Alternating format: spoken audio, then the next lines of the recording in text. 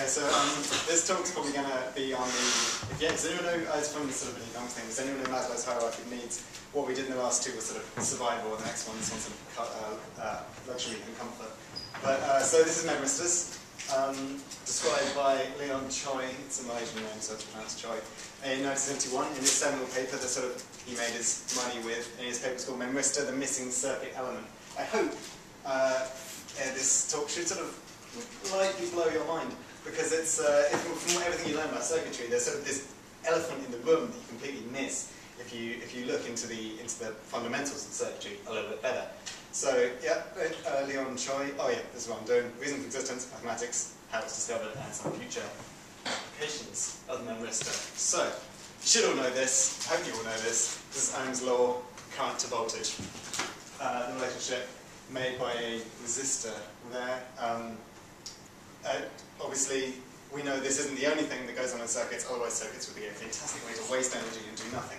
So we have this, which you should know from the capacitance, the property called the charge in circuits, which, um, which is derived from Gauss's law. Um, it's related to the current by the time integral. Uh, if you can think of a component that could possibly uh, relate the total amount of charge that's passed through a circuit and the total amount of charge that's passing through a circuit, I'd like to see you try because as far as I can tell, it's time itself that manages that. Um, charge and voltage obviously related by capacitance. Um, but, you know, we know Maxwell's laws, we know about Faraday's law, so there's this quantity here called the flux, which we derive through Faraday's law. Uh, the flux, so we, we know the EMF, which is effectively the voltage, um, is the rate of change of flux linkage. So for this reason, flux completely analogously to current and charge is the time integral of voltage. But also we know through Ampere's law that we can relate these two um, through, through an inductor. And it's, it's, it's, easy enough, you slog through the maths and you get this, you get this inductance L and it's used um, oh, with a coil. So great, that's everything. That's, yeah, first year circuitry, done. Great, let's sort of go home, but we've got a gap. What goes there? I mean, surely, these are axiomatic laws, right? These come from nature, and we've, we've, we've derived these, they're, they're given their premises. Surely for the sake of completeness and for symmetry, there should be something here between the charge and the flux. And that's exactly what Leon Chua did. In 1971, he postulated the memristor. So you've got the four key relations, resistor, dV by di, inductor, uh, d phi by di, capacitor, dq by dV. What should go here? There should be something here. And uh, yeah, that's the memristor. So the memristance, um, which is related to Q, is d phi by dq. Um, since Leon Chua proposed this, would anyone like to guess what he called the unit for memristance? Memristivity. He called it the Choi, Oh. which is uh, exactly what we should do, really. Um, so it's quite easy to get a nice, usable formula like this. Separate variables, do a time integral, and you get this familiar kind of looking formula. V equals I m of q. So this q is the total amount of charge that's passed through the, the circuit. It's the time integral of the current. So what you've got here is you've got a voltage that is related to the total amount of charge that is passed through. You've got a sort of resistor with, with memory, um, which is very interesting indeed. So if we take our standard power formula, you know, IV, and plug what we got in, you get B equals I squared m of q. And we can sort of see some of the properties of this by talking about what a memristor is not. A memristor is not the source of our energy problems. We cannot create infinite energy from this memristor. I mean, this P here is the, the power dissipated across the memristor. So if the memristance went negative in any way, it would start to create energy, and we know this probably is not the case, and we know it can't be the case. The memristor is a passive circuit element. That's what electrical engineers call them, which means it absorbs energy rather than creating it. Memristor is also not a superconductor, so that means M of Q here can't be zero.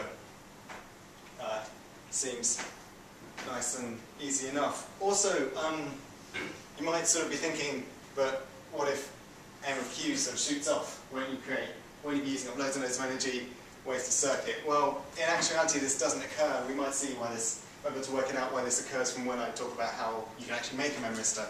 Um, it creates a sort of hysteresis loop if you draw a, um, a V, VI graph. I'm sorry, I haven't, I haven't, drawn one out here, but uh, if you have a, a, a VI graph, it sort of makes a bow tie shape, and we'll get on to why this bow tie shape is interesting when it comes to other things that were potentially discovered. So, this is, a, this is how you make a memristor if you can't make a memristor. This is called a mutator. This is a snippet from, from Chua's 1971 paper. Um, this is an active circuit, so it actually needs um, input.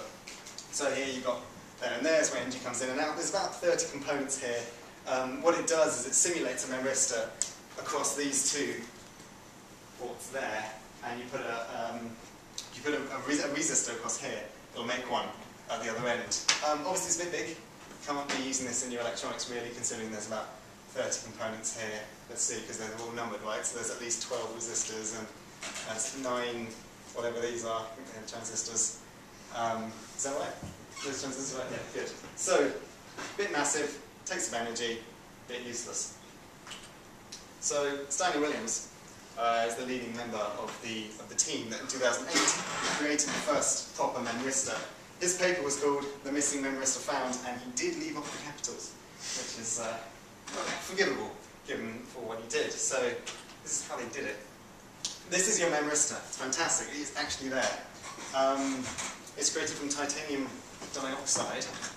What you have is you have a titanium dioxide between two ports here, or between two terminals. And um, you, so, so, so in theory, you, you have this, you have this homogeneous uh, substance, and you dope some of it with positive ions.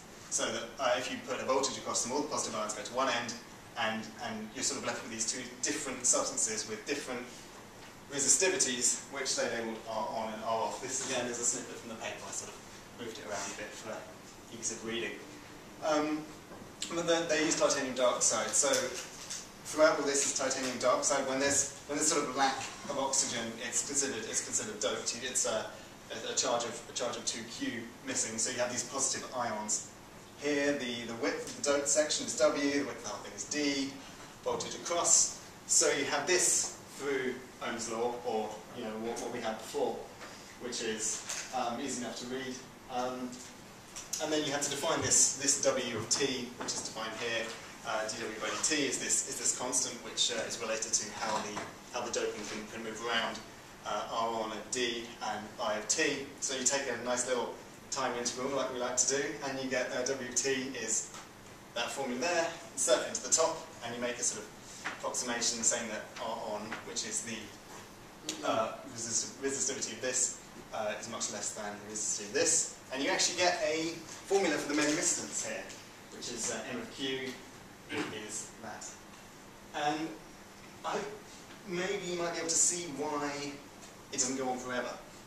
Because uh, if the memristor changes based on Q, it means that this is going to change. So this width is going to move, but it's going to become, you're going to have a lot more section of higher resistivity, so it's going to hit certain limits, and it might, it might sort of pull itself back round into a bow tie shape. And that's not the only way of making a memristor. Other ways as well. Spin systems, which I think Sonic might be talking about next. Spin stuff, yeah. So I'm not going to talk about that. In fact, I don't fully understand these. Um, the manganite films, somebody did an experiment with um, thin films of oxygenated, oxygenated, sort of, well, manganite oxide, don't know if manganite's an element, but essentially what they found is they found the bow tie shape uh, with, with VNI, which is very interesting because they didn't explicitly say memristor. Uh, I think that was a 2001 paper, so that's quite good in that way. Um, there's this uh, system called resonant tunneling diode, which I assume uses quantum mechanics. Uh, again, they found this was this was a, this was in the 90s. They found this bow tie shape, uh, but they didn't they didn't either they didn't know what a memristor was, or they or they didn't care, whatever. But they they they, they didn't get it, and um, it's kind of it's it's a good hint that there might be a memristor occurring in this section. So that's fine, good and great, but you know, what can we actually use these for? Because it's fine, it's fine. To, I mean, you can you can theorize anything, and, and you, you, can make a little something, but if it's if it's just a curiosity, you can't use it. Well, obviously, being called the memristor, you can imagine there might potentially be some memory applications. So, and there are.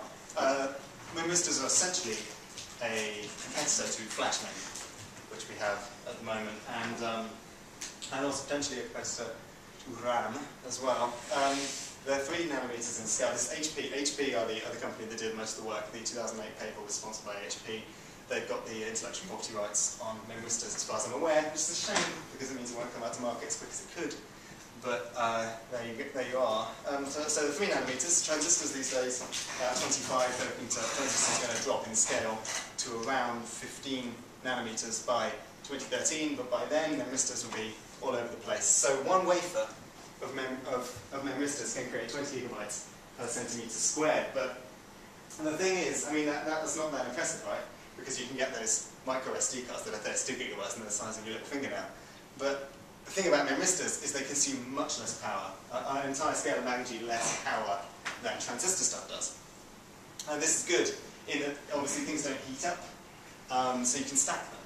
And at the moment HP have a plan for stacking memristors well, a thousand times. So you have a thousand stack, and you can, in one centimeter cubed of, of memristor systems, have a petabit of data stored, which is a phenomenal amount of data. It's amazing. Um, they're also more durable. Just you know, so so obviously like that. That's the main key, the core thing behind memory is how much you can store, but the sort of periphery things that are important. So they're more durable. Um, they're less susceptible to radiation damage. Uh, obviously, these things get smaller, so you've got a you've got a, a, transistor that's 100 atoms long. If one gets hit by, say, an alpha particle or whatever, and sort of knocks out an atom or or whatever it might do to damage it, it's, it's going to do a lot more damage if, if there's less atoms. And this isn't a problem for the memristor uh, to, such, to such an extent. It's uh, far more durable in that regard. So there are more applications than memory. This is my last slide. Um, synapse modeling. Um, it, seems, it seems to be the case that whenever um, a new technology comes out in circuitry, everyone says, yes, let's model the brain. But um, this one actually seems promising. Um, it's, it's the, the, the, main problem with modeling synapses and, and, and, neurons and neuromorphic systems is that each neuron is connected to 10,000 other neurons via synapses, uh, approximately. Um, which obviously, you've got transistors next to each other, it's really hard to link them up to 10,000 other transistors. Uh, apparently, this issue is not common with memristors, so it allows for that sort of behaviour. Um, in Chua saying he had a paper in 2009 where he's talking about these systems called mem capacitance and mem inductance. Don't fully understand them, but he says that that's that he's, he sort of defined a neuron by these by these properties. Um, they've recently managed to get memristors to behave in um, to model Boolean logic properly, so that's good for logic people. And analog computing, who would have thought? Uh, since the 1960s, analog computing died out after the birth and fantastic growth of digital computing. But um, are essentially analog um, switches. So you can either you can either have them sort of intensely one or the other, or you can sort of zoom in and, and, and compute in an analog fashion, which is, I mean, analog computing uh, only really died out because, because of physical limitations. Um, but there you are. So with a new paradigm comes a new opportunity. So I think that's a pretty good sentence to end. Uh, talk on. So that's it. Thank you very much.